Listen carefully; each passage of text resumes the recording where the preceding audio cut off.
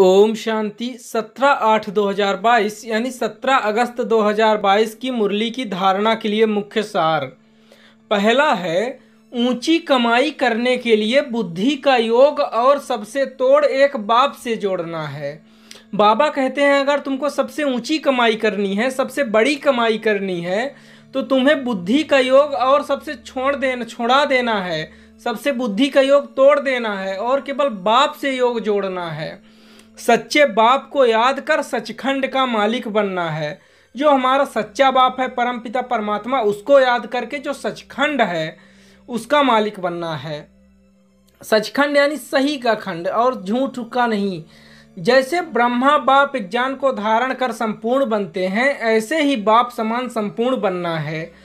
जैसे जैसे ब्रह्मा परमपिता परमात्मा का एक ज्ञान को धारण करके, जैसे ब्रह्मा परमपिता परमात्मा के एक ज्ञान को धारण करके संपूर्ण बन जाते हैं, ऐसे ही बाप के समान तुमको भी संपूर्ण बनना है।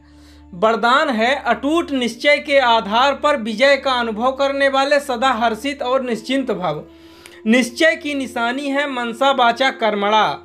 संबंध संपर्क हर बात में सहज विजयी। जहाँ निश्चय अटूट है, वहाँ विजय की भावी टल नहीं सकती।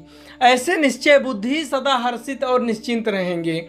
किसी भी बात में यह क्या, क्यों, कैसे कहना भी चिंता की निशानी है। निश्चय बुद्धि चिंतित आत्मा का स्लोगन है।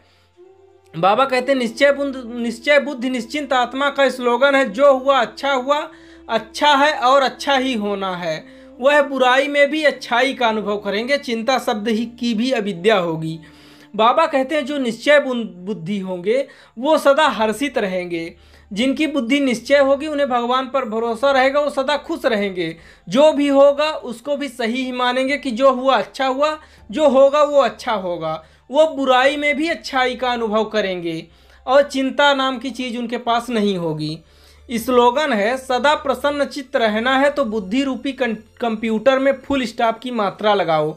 बाबा कहते हैं, अगर तुम्हें सदा प्रसन्न चित्त रहना है, यानी सदा खुश रहना है तो बुद्धि रूपी जो कंप्यूटर है, चारों तरफ़ भाग रहा है, इसको एक जगह लगाओ, परमात्मा के पास लगाओ, इसमें फुल स्टॉप लगा दो, बुद्धि को चारों ओर भटकने ना दो, एक बाप की याद में लगाओ।